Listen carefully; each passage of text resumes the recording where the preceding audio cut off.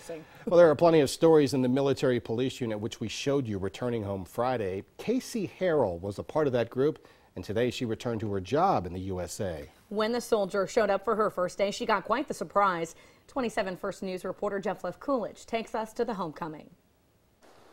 It's the first day back to work at the Northeast Ohio Correctional Center in Youngstown for Casey Harrell, but the correctional officer was not expecting a welcome like this. Coworkers waved flags for Harrell as she walked down the hallway of the prison this afternoon. So it was a great surprise, and I really, truly appreciate it. Casey returned Friday night with the rest of the 838th Military Police Unit, who spent the last year in Afghanistan with the U.S. Army.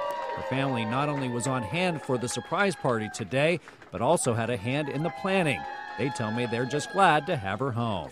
But to actually see her walk off and know that she's home and secure now, that obviously meant the world. Harrell is the first person ever to be deployed from the prison. You make a lot of friends when you work in a correctional institution.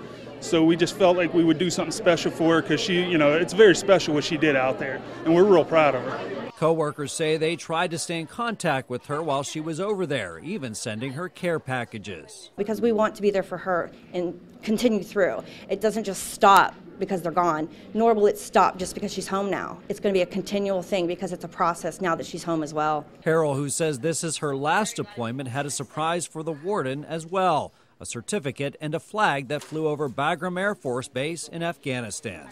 In Youngstown, I'm Trumbull County Bureau Chief Jeff Levkulich, WKBN 27 First News. Pretty heartwarming. Welcome back there. Yeah, Casey, thanks for your service. Absolutely.